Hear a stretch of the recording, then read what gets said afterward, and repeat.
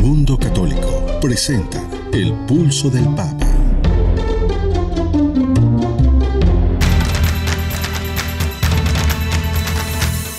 El Pulso del Papa, desde Ciudad del Vaticano. Servicios informativos de ver y creer. La actividad pontificia y los acontecimientos de relevancia mundial, con enlaces directos a Radio Vaticana, CENI y Vatican Information Services. El Pulso del Papa, desde Ciudad del Vaticano. Servicios informativos de ver y creer.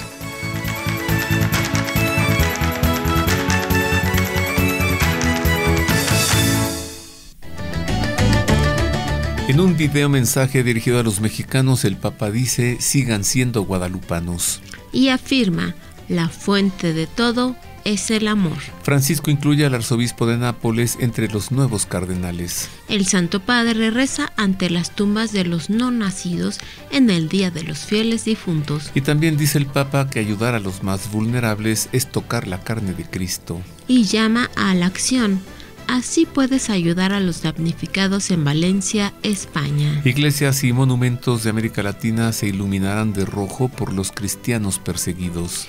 Inauguran en México el Memorial Papa Francisco. Obispos de Colombia condenan un atentado en su país y exigen a criminales abandonar la vía del terror. Y por último, intentan eliminar el secreto de confesión en casos de abuso en Costa Rica. Estas y otras noticias enseguida en los servicios informativos de Ver y Creer. Queridos amigos radioyentes, como cada semana les saludamos con afecto, con cariño. Agradecemos que esté con nosotros. Hoy tendremos el gusto de acompañarle en las voces informativas. Marisa O'Farrill. Y Roberto Farril. Hola Marisa. Hola Roberto. ¿Lista para informar? Sí, listísima. Empecemos a conocer lo acontecido en la semana en el Vaticano y Europa. Sea usted bienvenido a la información.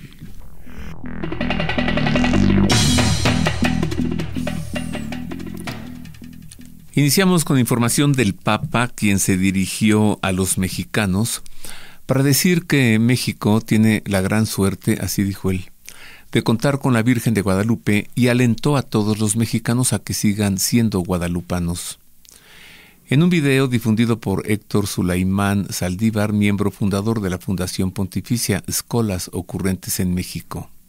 En esta grabación, el Papa recordó sus visitas a México, una antes de ser pontífice y otra en 2016, en su viaje apostólico, y dice, Cuando estuve sentado mirando a la Guadalupana, se me pasó el tiempo, me tuvieron que sacar, no me di cuenta. Así lo recuerda el Papa en el video.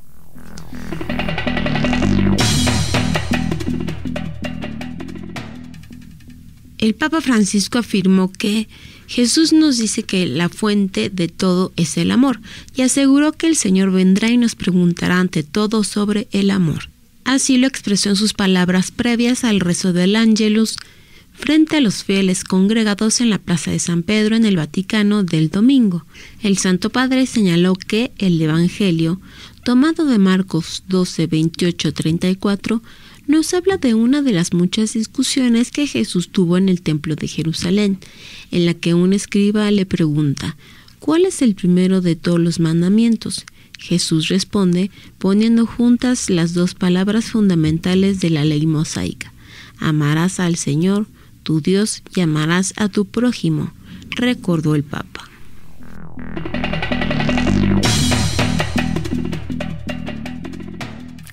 En más del Papa, de manera sorpresiva, visitó el pasado martes a Emma Bonino, política y exministra italiana de 76 años, reconocida por su activismo a favor de la legalización del aborto.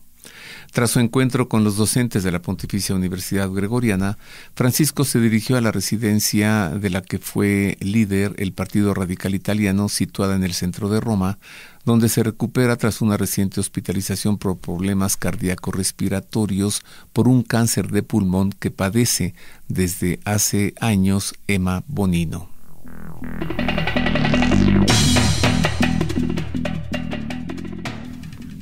Francisco incluyó a un arzobispo italiano en la lista de los nuevos cardenales que creará en el consistorio del próximo 7 de diciembre en el Vaticano. El Papa Francisco anuncia haber incluido entre los nombres de los nuevos cardenales que serán creados en el curso del próximo consistorio del 7 de diciembre a su excelencia Domenico Battaglia, arzobispo de Nápoles de 61 años.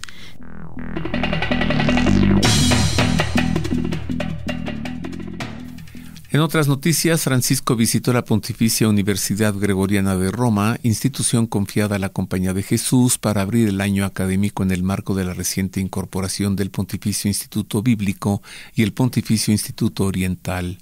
El Papa se dirigió a los docentes para reflexionar acerca del papel de la Universidad Gregoriana y cuestionó a los presentes. ¿Se han planteado la pregunta de a dónde están yendo o por qué hacen las cosas que están realizando? Es necesario saber dónde se está yendo sin perder de vista el horizonte que une el camino de cada uno con el fin actual y último, e indicó que la visión y conciencia del fin impiden la cocalización de la espiritualidad. así dijo, cocalización lamentando que son muchos los discípulos de la Coca-Cola espiritual. Así habló el Papa.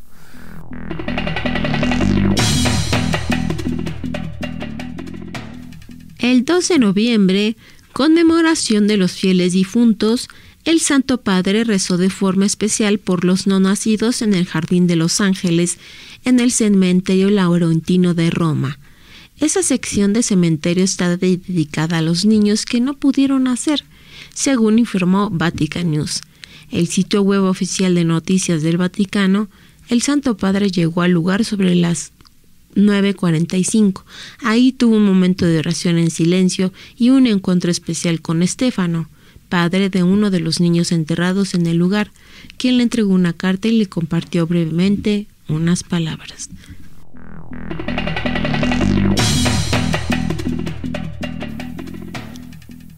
Francisco celebró el pasado lunes la Santa Misa en sufragio por siete cardenales y 116 obispos fallecidos en el último año desde el altar de la cátedra en la Basílica de San Pedro del Vaticano. En su homilía reflexionó sobre las últimas palabras que dirigió el Señor a uno de los dos crucificados que estaban junto a él. No es un discípulo el que las pronuncia, no es uno de aquellos que siguieron a Jesús por las calles de Galilea y compartieron con él el pan en la última cena. El hombre que se dirigió al Señor es en cambio un malhechor, uno que lo encuentra solo al final de su vida, uno cuyo nombre desconocemos, así lo dijo el Papa.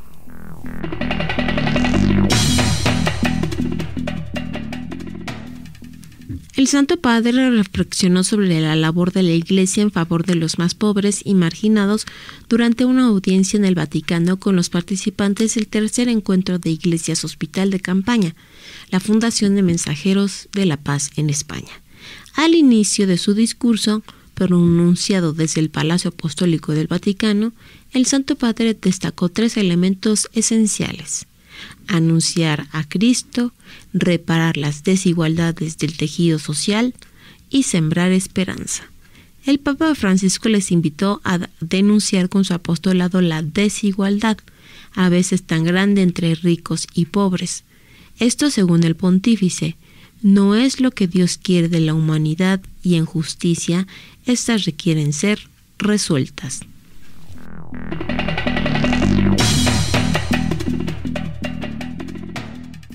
En otras noticias, la Iglesia Católica se ha movilizado para ayudar a las víctimas de las graves inundaciones que han sacudido Valencia y otras zonas del este de España y que hasta el momento han dejado al menos 214 fallecidos y cientos de desaparecidos. Caritas Española y Caritas Valencia han habilitado cuentas bancarias para canalizar donaciones económicas que ayuden a las parroquias en las zonas más afectadas por la depresión aislada en Nieves Altos.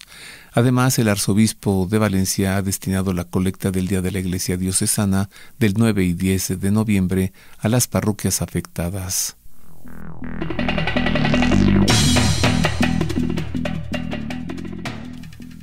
En el Líbano, un convento de las Hermanas del Buen Socorro ha abierto sus puertas para acoger a más de 800 personas que han sido desplazadas por los bombardeos israelíes.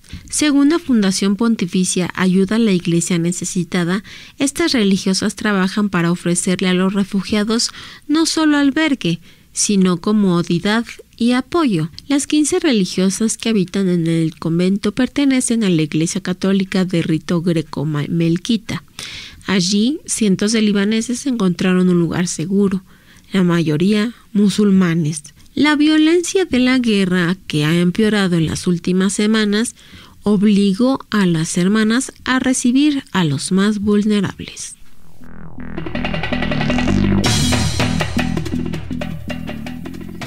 En otras noticias, pues es una noticia que como que nos da esperanza, porque mire, el padre Etienne Kern, rector del santuario de Parelemonial, donde el Sagrado Corazón de Jesús se reveló a Santa Margarita María de Alacoque, afirma que la encíclica Dilexit Nos puede reconciliar a los que están algo desestabilizados por el magisterio del Papa Francisco.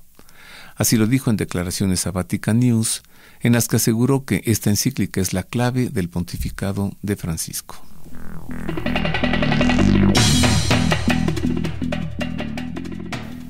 Y hasta aquí el resumen informativo de la Semana del Vaticano y Europa. Más adelante no se pierda lo acontecido en América y México. Hagamos un enlace con Radio Vaticana, la radio del Papa, para escuchar las palabras en español del Santo Padre en la audiencia del pasado miércoles. Radio Vaticana, la radio del Papa.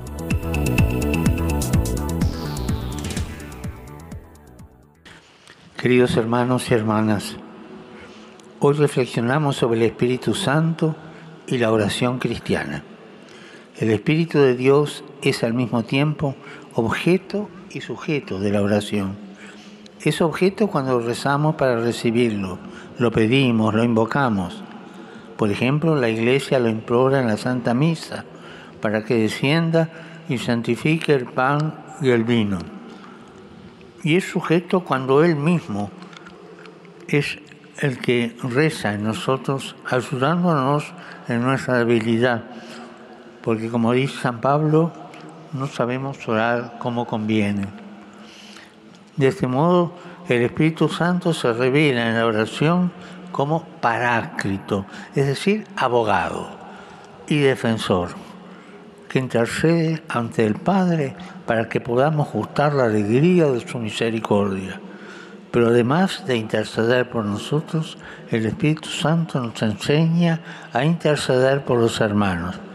Y esta oración de intercesión agrada a Dios porque es gratuita y desinteresada. Cuando rezamos por los demás y los demás rezan por nosotros, la oración se multiplica. Saludo cordialmente a los peregrinos de lengua española. En este tiempo de preparación al jubileo, pidamos al Espíritu Santo que interceda por nosotros para que seamos peregrinos de esperanza y dispuestos a seguir siempre a Jesús, que es el camino, verdad y vida. Que Dios los bendiga y la Virgen Santa los cuide. Muchas gracias.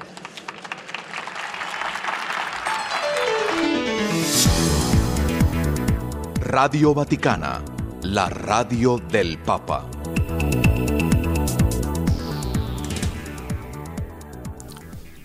Esos son los detalles de la eh, catequesis impartida por el Papa el pasado miércoles con ocasión de la audiencia general. ¿Tú qué dices, Marisa? ¿Los perros van al cielo o no? ¿Y los gatos? los gatos, los gatos sí, pero los perros no. Ay, no, los perros son un amor. Bueno, los perros y los gatos van al cielo. ¿Tú qué dices? Le pregunto esto porque conversé con el padre Alberto Anguiano, rector de la Universidad Pontificia de México, sobre la salvación, sobre la vida eterna, sobre alcanzar el cielo, ¿no? Sí. Y entonces él eh, dijo, ponle de título, los perros van al cielo. de eso hablaremos después de una pausa en la entrevista. Conversaré con el padre Alberto Anguiano, el tema central pues es la salvación, ¿no? la vida eterna, la gloria celestial. Volvemos con esto después de una pausa. Queremos conocer su opinión. Contáctenos en nuestro correo electrónico elpulsodelpapa@vericreer.com. Ya estamos regreso, queridos amigos. Eh, busqué al padre Alberto Anguiano, rector de la Universidad Pontificia de México. Lo busqué allá, en la Universidad Pontificia de México. Allá lo entrevisté acerca de la salvación y la vida eterna, ¿no? Y como le decía, eh, dicho de otra manera, los perros van al cielo. Mm. Así que le entrego enseguida esta entrevista que le hice al padre Alberto. Comencé por saludarlo y por agradecerle que nos haya recibido allí en la universidad. Padre Alberto, qué gusto. Roberto, igualmente mucho gusto. Muchísimas gracias por invitarme a tu programa. Siempre.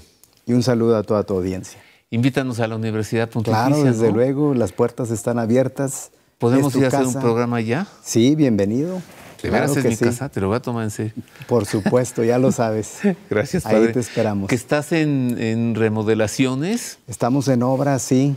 Eh, tenemos en la universidad, pues prácticamente eh, una construcción que ya eh, topa el límite de lo que podemos construir. Sin embargo, pues todavía estamos remodelando la parte antigua. Ah. No construimos, pero sí estamos remodelando. A ver, vamos. Hacemos un programa y ahí nos enseñas. Perfecto. Todo lo nuevo. Sí, para que conozcan, claro. ¿Los perros van al cielo?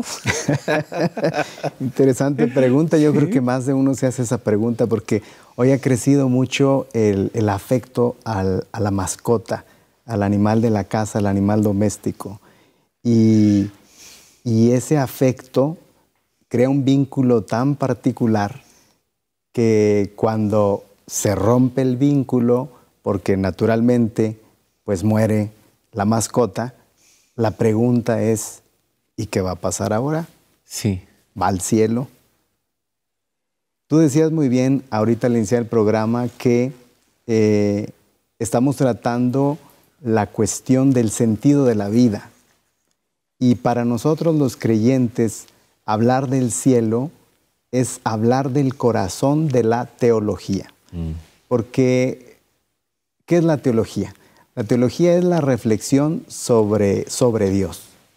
Pero Dios no es un objeto material, no es algo de lo, que tenamos, de lo que nosotros podamos tener experiencia a través de los sentidos. No podemos verlo en un microscopio. Así es. Entonces, para decirlo en términos simples, Dios no es un objeto físico. Y si usamos ahora una terminología más técnica, más filosófica, tendríamos que decir que Dios es un objeto metafísico es decir, una realidad que está más allá de esta realidad física, de esta realidad material. La teología trata sobre estas realidades que no son tangibles, que no son perceptibles por los sentidos. Siendo así entonces, cuando nosotros nos preguntamos, por ejemplo, si un perro va al cielo, entonces naturalmente estamos poniendo el dedo en la llaga, estamos tocando el corazón de la teología. Entonces, en el sistema de materias de la teología, la escatología es una parte. Ciertamente es una parte, pero como disciplina. O sea, hay una materia, hay una ciencia dedicada solamente a esta cuestión. La escatología es lo que está más allá de aquí. así es. Podríamos, podríamos referirnos, por ejemplo, al significado etimológico del término. La palabra viene del griego, eshatón. Y la palabra eshatón se refiere a lo último. Y bueno, todavía en español, lo último puede tener también varios matices de significado. Lo último, por ejemplo, cronológicamente. Pero lo último hace también referencia, por ejemplo, a lo más novedoso, a lo nuevo, como cuando mm. se dice coloquialmente, estás al último grito de la moda. Mi último libro. No es que sea el último, es que sea el más reciente. Ajá, cronológicamente a lo mejor es el último en una serie de libros publicados, pero lo último también significa no simplemente lo que viene al final, sino lo que es nuevo. Ajá. Ajá. Esos son los dos significados. Y creo que el más propiamente teológico tiene que ver con la novedad. O sea, cuando hablamos de escatología, nos estamos refiriendo sí a lo que está al final, pero que representa una absoluta novedad.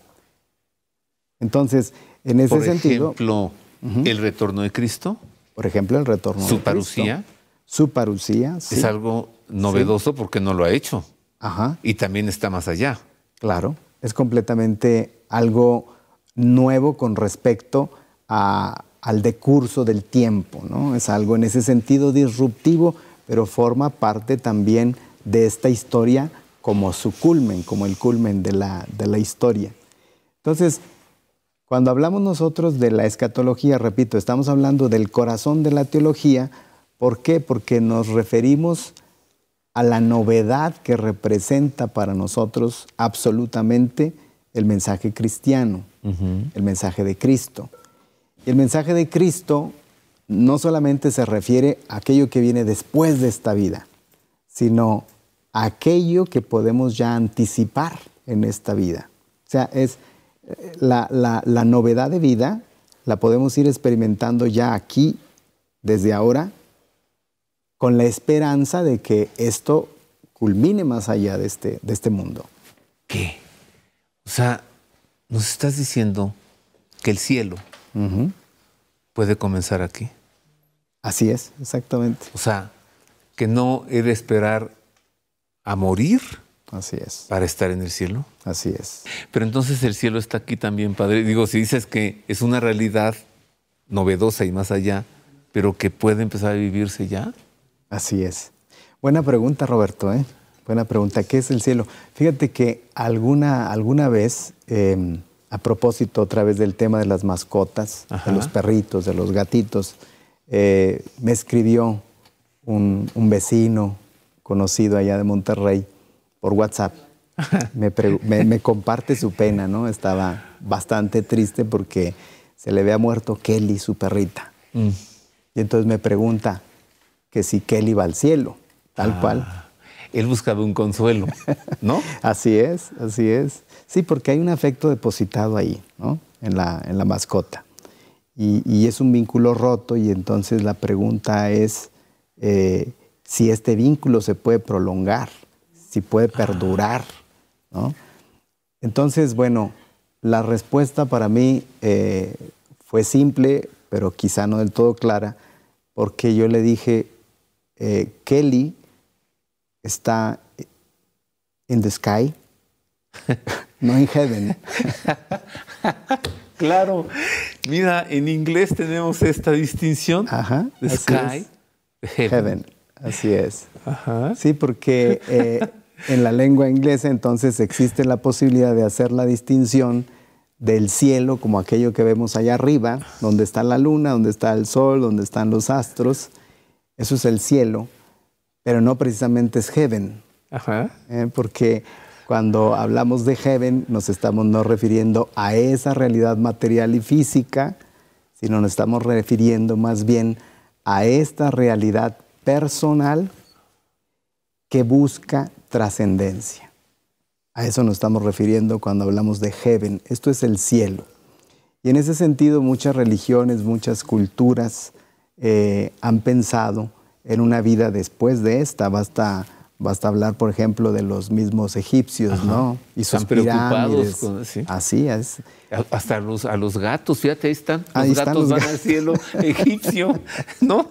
Así es. Y de hecho creo que eh, desde el punto de vista antropológico, eh, los hallazgos de enterramiento son muy significativos para datar precisamente el inicio de la especie humana, porque en los enterramientos, ahí donde hay un esqueleto humano, junto al esqueleto se encuentran, por ejemplo, eh, el polen de flores, algunos objetos que quieren honrar al difunto. Entonces, aquí estamos ya no simplemente ante un cadáver, sino ante el homenaje dado Ajá. a un cadáver. Y eso está hablando de la capacidad simbólica del ser humano, de este animal que se distingue de los demás precisamente porque su afecto lo simboliza. Y eso, y eso data el comienzo de nuestra especie, pero es tan original como tan actual, O sea, hoy día en la casa eh, la, la, esposa se puede referir a su esposo diciéndole cielito, mi cielito, ¿no? ¿Qué quiere decir cielito?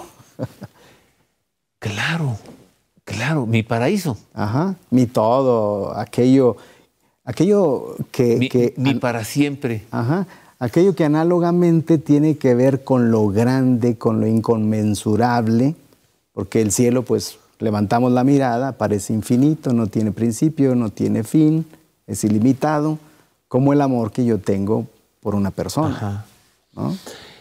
Entonces es cierto que en el primer enterramiento, en la primera sepultura, en el primer funeral, ahí tenemos al primer hombre.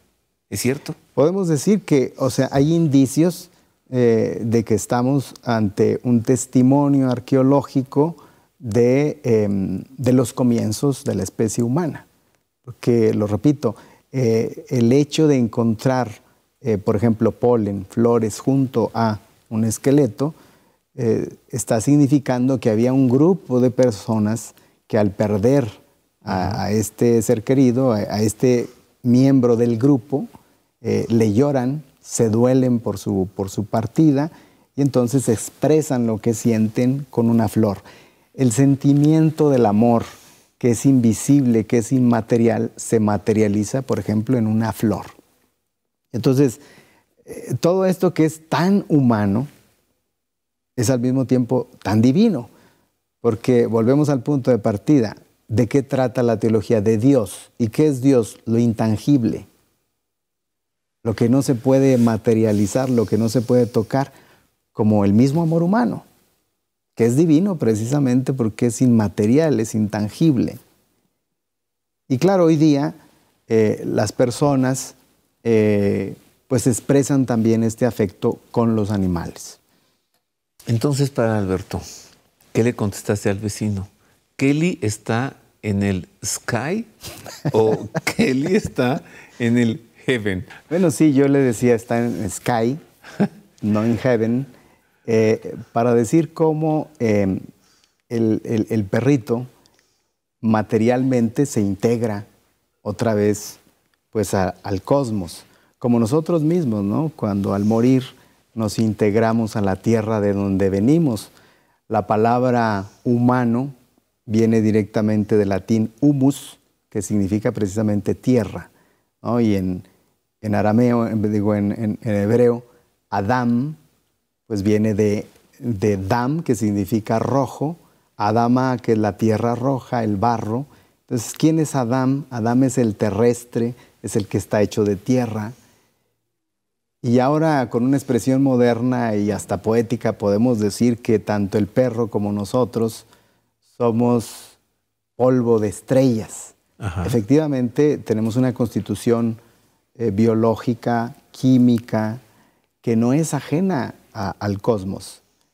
Entonces, em, creo que debemos de hacernos conscientes que aunque los seres humanos efectivamente somos em, en la escala animal, la cumbre, somos sin embargo también eh, animales, compartimos una, identidad y esta identidad se, eh, tiene que ver precisamente con las emociones. Creo que en la cultura contemporánea este afecto por los animales es un síntoma de, de cuánto a lo mejor en otras épocas reprimimos mucho también nuestras emociones eh, con el propósito de ser más racionales. Pero fundamentalmente nuestra convivencia tiene que ver con emociones. Yo creo que si, si en verdad nosotros nos comportáramos racionalmente, eh, creo que un, papá no tendría que repetirle tantas veces a su hijo lo que quiere que haga, cómo se siente.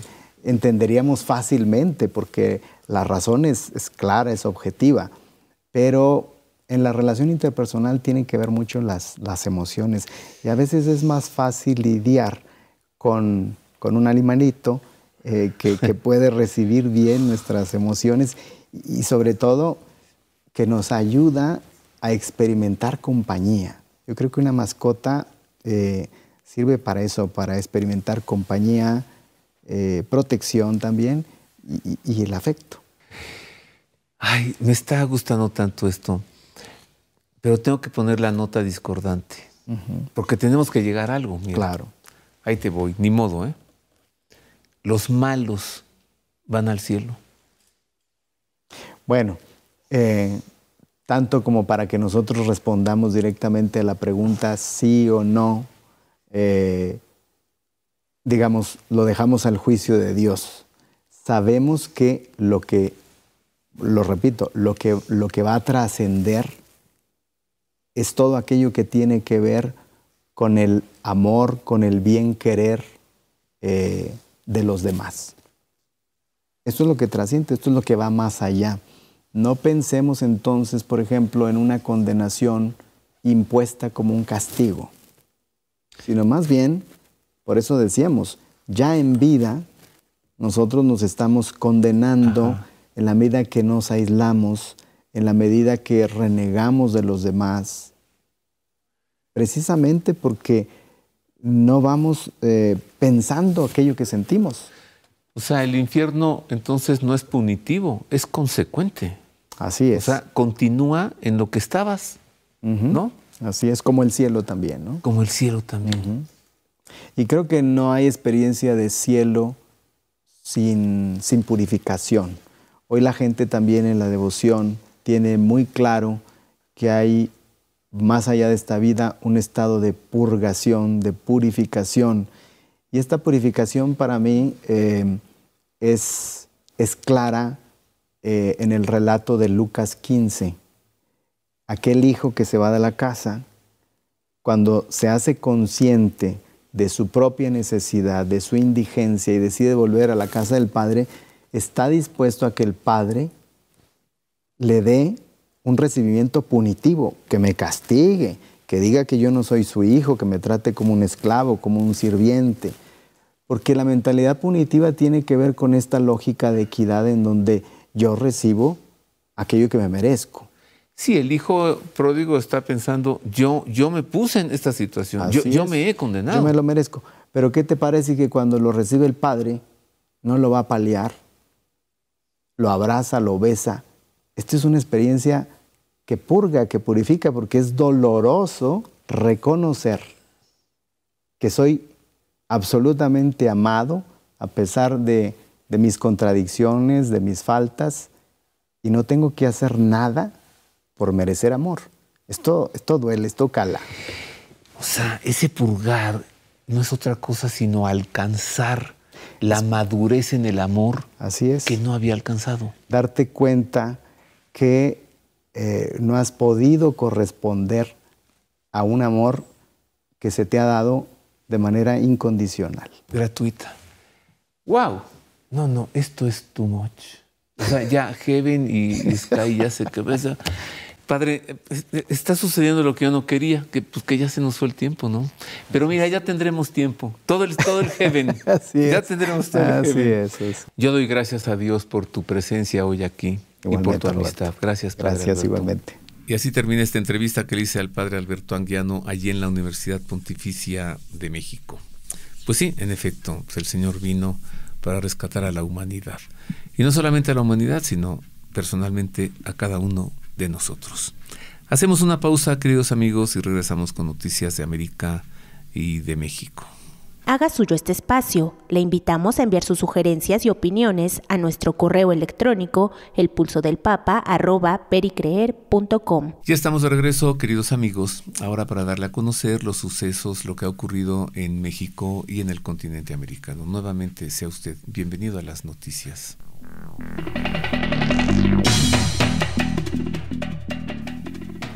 Del 17 al 24 de noviembre, iglesias y monumentos de unos 20 países, entre ellos Brasil, Chile, Colombia y México, serán iluminados de rojo como acto de solidaridad y para centrar la atención mundial sobre la persecución de los cristianos. Se trata de la Semana Roja que lleva adelante la Fundación Pontificia Ayuda a la Iglesia Necesitada desde el 2015 cuando su oficina en Brasil iluminó la famosa imagen del Cristo Redentor en Río de Janeiro. Desde entonces se han ido sumando más países y para este año se contará con la participación de España, Portugal, Eslovaquia, Italia, Filipinas, entre otros.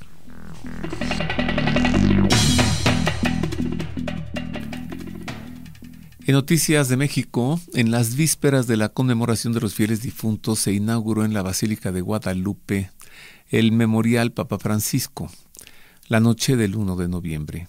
Se trata, explicó la Arquidiócesis Primada de México, de un proyecto multiplataforma que busca conservar la memoria de nuestros difuntos y generar propuestas para beneficiar a los ancianos vulnerables. También apunta a ser una muestra concreta de la transmisión de la fe entre las nuevas generaciones.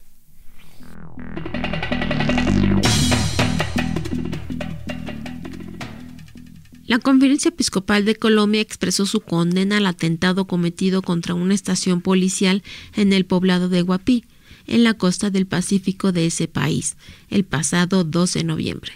Producto de la explosión resultaron heridos dos policías y los daños alcanzaron viviendas vecinas, la casa y la curia episcopal del Vicariato Apostólico de Guapi y la alcaldía en un comunicado, la conferencia del episcopado expresó a toda la comunidad de Guapí su más profunda solidaridad y apoyo en este momento de prueba ante los avances de la violencia.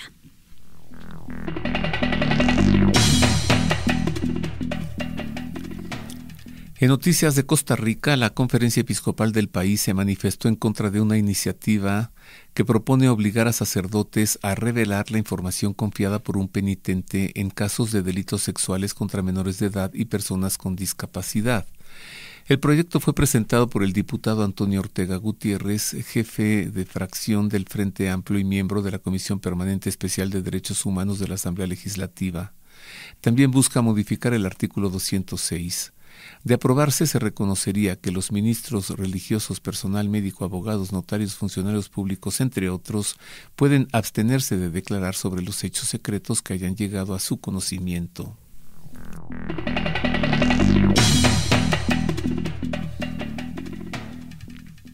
La Compañía de Jesús en Chile informó que el sacerdote Alejandro Longueira M fue declarado inocente y sobreseído definitivamente en una causa del presunto abuso contra un menor de edad. El fallo estuvo a cargo del séptimo juzgado de garantías de Santiago y con fecha 18 de octubre se decretó el sobreseimiento del padre Longueira en el proceso judicial que databa de 2019 aunque la denuncia había sido provisionalmente archivada en mayo de 2021, en abril del 2023 el abogado del sacerdote solicitó su reapertura por contar con antecedentes relevantes para aportar a la investigación y que permitieron descartar los hechos y probar su inocencia.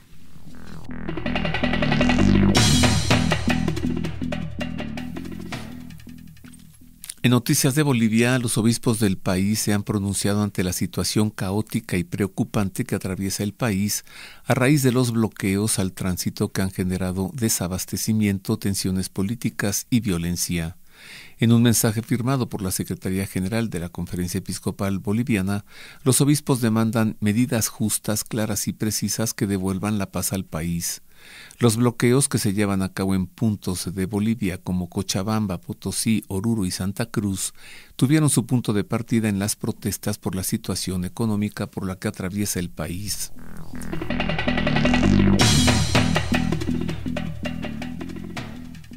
Fue nombrado Monseñor Lisandro Rivas nuevo obispo de la diócesis de San Cristóbal en Venezuela. En una entrevista con la agencia Así Prensa, el hasta ahora obispo auxiliar de la Arquidiócesis de Caracas, reflexionó sobre su nueva misión pastoral. Este nombramiento como sexto obispo de la diócesis de San Cristóbal se convierte en una oportunidad para ser un obispo en salida misionera, especialmente en el contexto de la sinodalidad. Es una iglesia particular muy importante que ha cumplido 102 años de existencia, afirmó Monseñor Rivas. Monseñor Rivas expresó que las nuevas plataformas de comunicación deben orientarse a ser herramientas para evangelizar integralmente.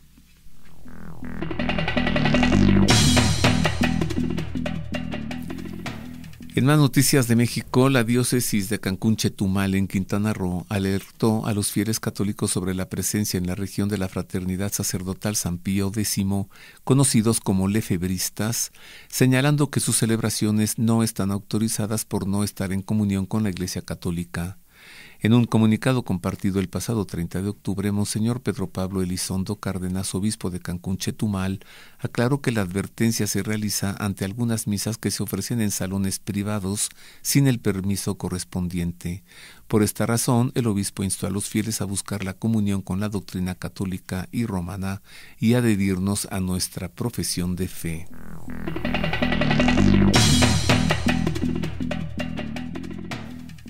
Los legionarios de Cristo informaron que uno de sus sacerdotes, el padre Francisco Aguilar, y cuatro jóvenes fueron víctimas de un asalto el pasado domingo 13 de noviembre mientras viajaban en una carretera del estado de Veracruz, regresando a la Ciudad de México después de acudir a un retiro espiritual. De acuerdo con el medio local Latinus, los afectados fueron privados de su libertad por casi cuatro horas y tras ser despojados de sus pertenencias, los delincuentes los habrían dejado abandonados sobre la carretera. No obstante, esta versión no ha sido confirmada.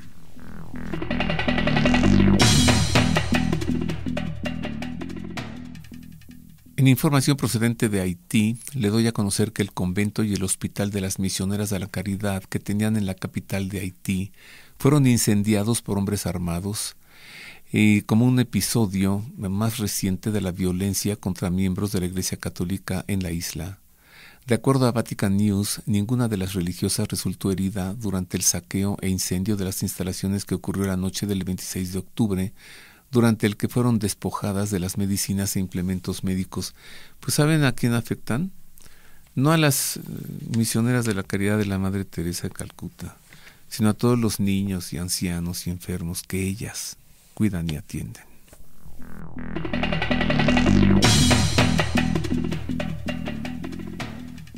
El arzobispo de Nueva York, el cardenal Timothy Dolan, recordó el origen cristiano de Halloween que se celebró el 31 de octubre y explicó su estrecha relación con la víspera de la solemnidad de todos los santos del 1 de noviembre.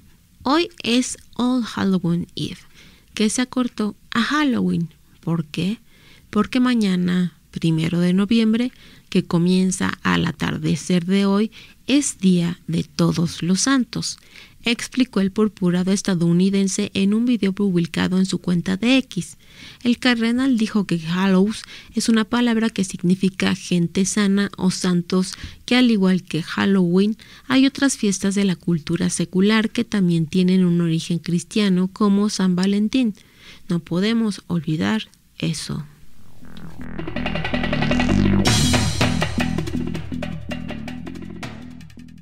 Y hasta aquí las noticias de América y de México. Usted ha quedado ya bien informado. Ahora escuchemos el editorial del día de hoy, Los escribas y la viuda.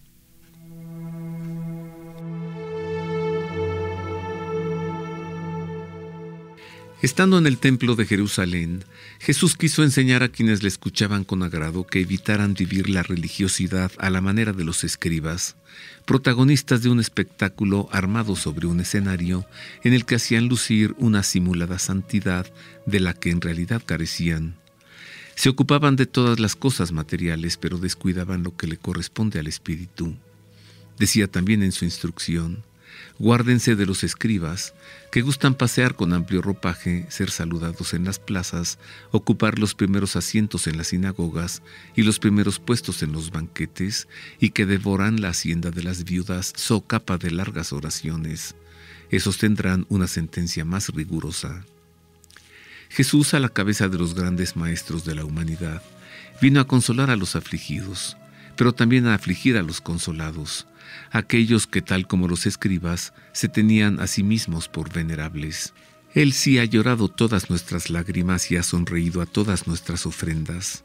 Fue mucho más que una revolución por la que el mundo clamaba, y en su voluntad siempre estuvo a hacer ver la verdad a todos.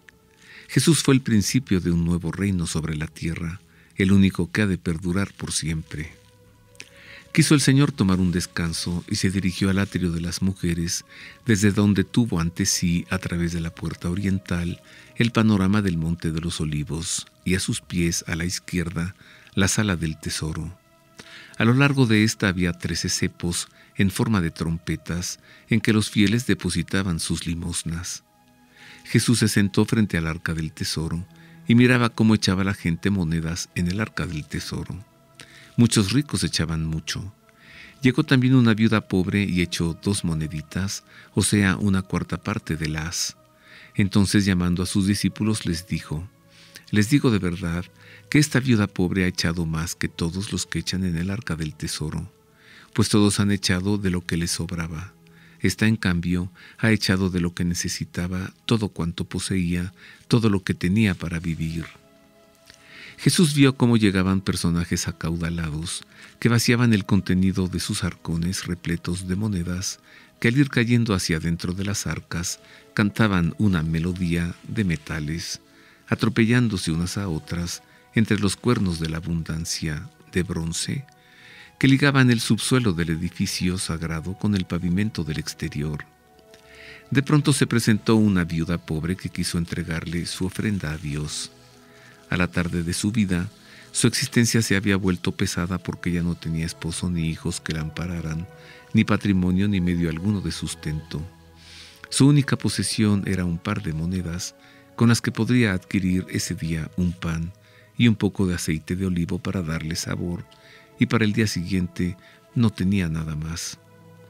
Ya frente al arca del tesoro, la pobre mujer tuvo que elegir entre comer o agradar a Dios y recordó el primer mandamiento del Decálogo. Amarás al Señor tu Dios con todo tu corazón, con toda tu alma y con todas tus fuerzas. Entonces apretó con su mano enjuta ambas monedas para hacer de ellas una misma ofrenda, aunque juntas no sumaban ni siquiera una cuarta parte de lo mínimo a presentar en el templo. Esas monedas eran la insignia de una vida que aspiraba a Dios, el impulso del corazón de una hija de Dios, de una anciana viuda, pobre, dueña de un corazón que custodiaba con abnegación la mayor riqueza, el amor a Dios por encima del amor a sí misma. Sus manos soltaron la pequeña ofrenda que en cuanto la vio Jesús, no cayó hacia las arcas del templo, sino al fondo de su corazón, convertido en altar de la ofrenda para quedarse allí para siempre pues ella ofreció a Dios más de lo que él había recibido de todos los que decían amarlo. Porque la ofrenda no vale por su cantidad, sino por la voluntad y el amor de quien la ofrece. Contrasta la religiosidad de la viuda con la religiosidad de los escribas, porque en tanto que muchos suelen dejarle a Dios lo que les sobra, que son las migajas de su amor, ella le ofrendó un corazón inflamado de amor, y le entregó cuanto ella era, sin restricciones, cuanto tenía sin condiciones, mientras se repetía para sus adentros, todo para Dios, nada para mí.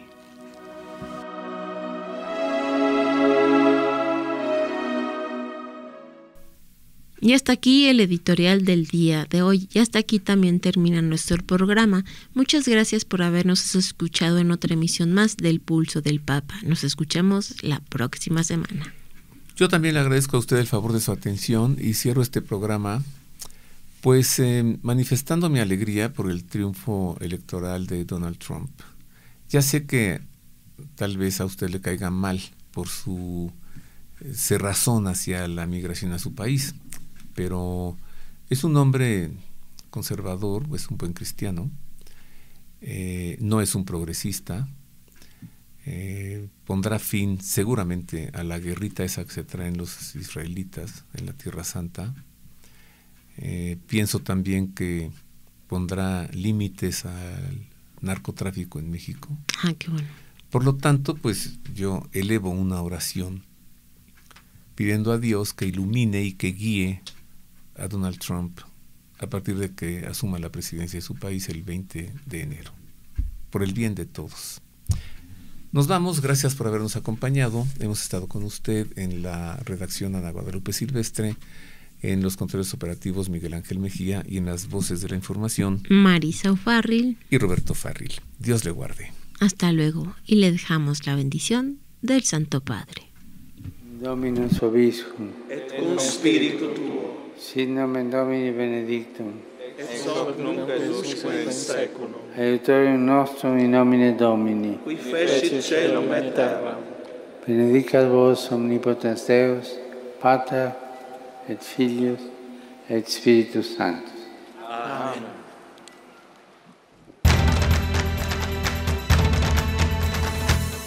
El pulso del Papa, desde Ciudad del Vaticano. Servicios informativos de ver y creer. La actividad pontificia y los acontecimientos de relevancia mundial, con enlaces directos a Radio Vaticana, CENI y Vatican Information Services. El pulso del Papa, desde Ciudad del Vaticano. Servicios informativos de ver y creer.